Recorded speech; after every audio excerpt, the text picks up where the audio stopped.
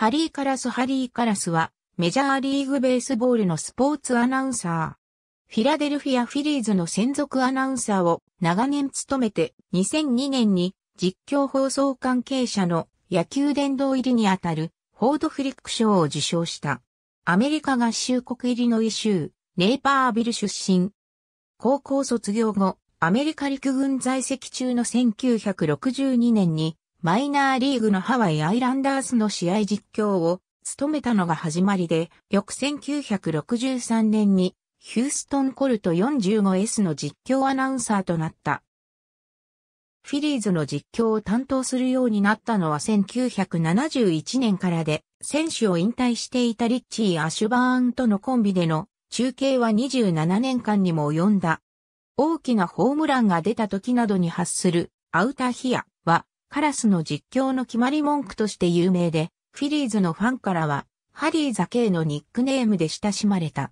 シチズンズバンクパークのスコアボード下のレストランにこの名前が付けられている。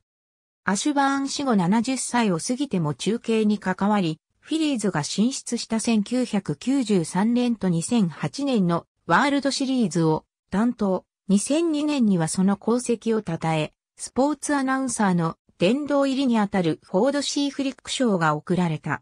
野球中継以外では NFL フィルムズのインサイド・ザ・ NFL など数多くのナレーションを務めた。また2005年から2009年にかけて TV 番組アニマルプラネットのコーナーパピーボールのナレーションや映画レザーヘッドのコマーシャルのナレーションを行っている。2009年4月13日のワシントンナショナルズのホーム開幕戦の中継を担当する予定だったカラスは試合開始前の午後12時30分頃に心臓発作を起こし、シチズンズバンクパークの記者席で倒れ、収容されたジョージ・ワシントン大学病院で亡くなった。